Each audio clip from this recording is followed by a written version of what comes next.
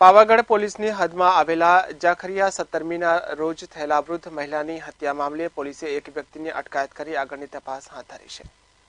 પાવાગઢ પોલીસની હદમાં આવેલ જૂના ઝાખરિયા ગામે રહેતા અને ખેતી કામ કરી ગુજરાન ચલાવતા મહેન્દ્રભાઈ મંજીભાઈ રાઠવા સત્તરમીના રોજ ખેતી કામ કરી ઘરે ગયા, ત્યારે તેમની માતા મૃત હાલતમાં મળી આવ્યા હતા.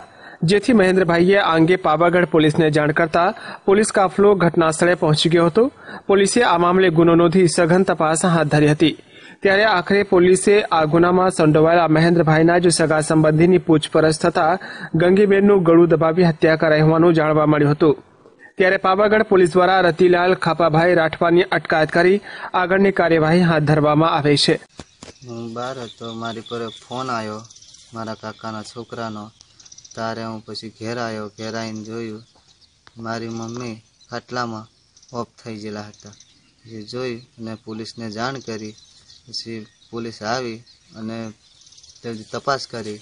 પછી રતિલાલે મારી મમ્મીને ગાલ પર ને બધે માર્યું હતું અને ગળું દબાઈ દીધું.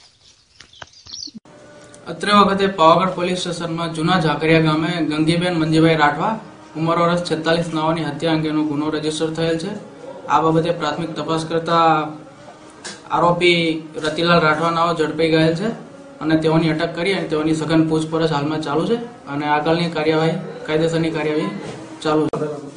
આરોપી રતિલાલ રાઠવા જે તેમના કૌટુંબિક સગા સંબંધી થાય છે તેની સઘન પૂછપરછ ચાલુ કિરણ ગોહિલ સાથે લાઈવ ગુજરાત ન્યૂઝ પંચમહાલ.